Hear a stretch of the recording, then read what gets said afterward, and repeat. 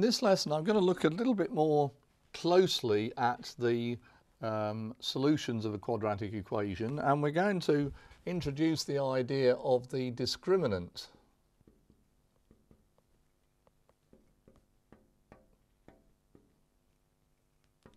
often denoted by the symbol triangle.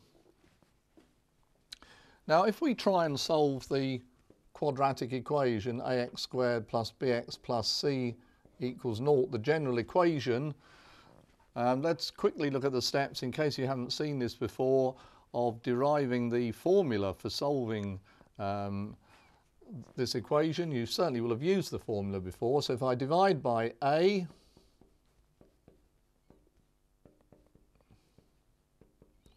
then complete the square so remember how to do that. You halve the number of x's, so that's b over 2a.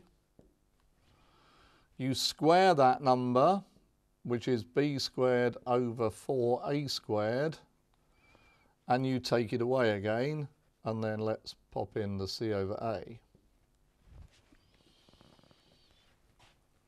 Leave the square bracket on the left put everything else onto the right, so that becomes plus b squared over 4a squared minus c over a.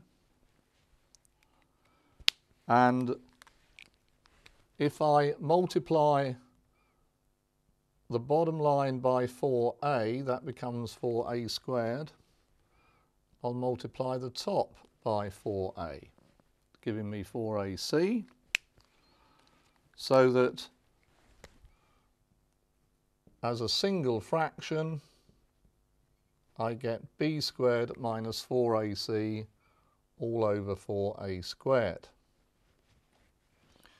Now take the square root of each side. x plus b over 2a is plus or minus the square root of b squared minus 4ac all over. Now the square root of 4a squared, what is 4a squared? Well, it's 2a times 2a. So if I square root it, I get 2a.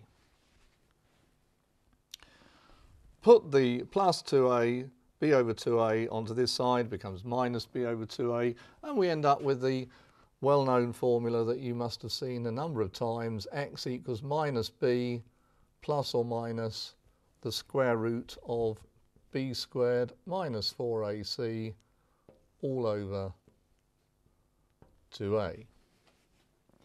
Now, of course, in Core 1, you're not allowed a calculator. So that what are the sort of questions that they're going to ask you with, um, with reference to that formula? Because you can use it and leave surds in your answer, but you can't work out any decimal answers. But that's not the thing in Core 1 that they're actually particularly interested in. Now, this quantity here, b squared minus 4ac, is what we call the discriminant. So delta, the discriminant, is equal to b squared minus 4ac.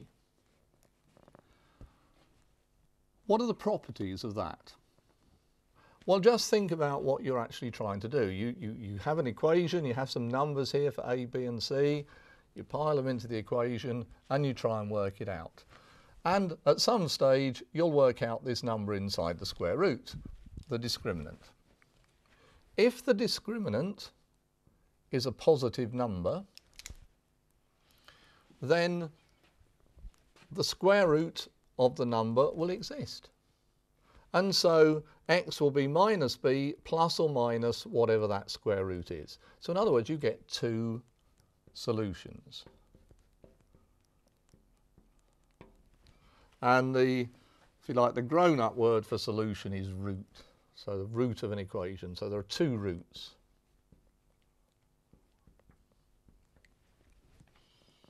What happens though if delta is zero? Well, if delta is zero, there's nothing to add or subtract. So I only get one solution. I get one root. Finally, if the discriminant is negative, Well, then I'm trying to find the square root of a negative number. Now, at this stage, you can't do that. In higher mathematics, there are ways of getting round this, but at this stage, you can't do it. So that means there are no solutions. So the discriminant is a very quick way of making a decision about your quadratic equation. So if we find, uh, we get hold of some examples here to, to copy down. So let's look at some quadratics then. 2x squared plus 4x minus 3 equals naught. Next one, 4x squared minus 3x plus 8 equals naught. And finally, 4x squared plus 12x plus 9 equals naught. So if I was given those equations, how quickly could you tell me whether there are any solutions at all, whether there was one solution or whether there were two solutions? Well, now we have a method, the discriminant. So let's work out the discriminant. So for the first one, the discriminant is b squared. b is 4, 4 squared is 16. Take away 4ac. So that's 4 times 2 is 8 times 3 is negative 24 because it's negative 3. So it's 16 take away negative 24 which is plus 40 which is of course positive. What does the rule say if the discriminant is positive there are two solutions. So this equation here has got two roots. And notice I don't have to work them out. I get this uh, information without working them out. Now let's try the next one. Delta for this one. b squared. b is negative 3. Negative 3 squared is 9. Take away. 4a is 16. 16 times 8.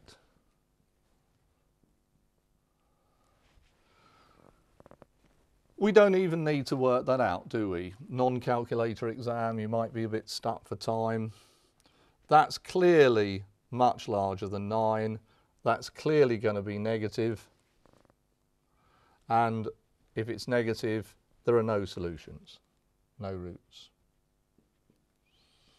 So I can look at that. I saved myself a lot of time trying to find them by finding, well, I wouldn't have found any roots, would I? So um, I can determine quickly there are no solutions. And then finally, let's look at this one here. b squared, 12 squared is 144, minus 4 times 4 is 16, 16 times 9 is also 144. The discriminant is 0. So this equation only has one root. So there we can see then the power of this quantity, the discriminant, helps us determine the nature of the solutions of a quadratic equation. And it's a very, very popular topic uh, in the exam and in the next lesson, we'll look at how um, they make the question around this sort of idea just that little bit more tricky.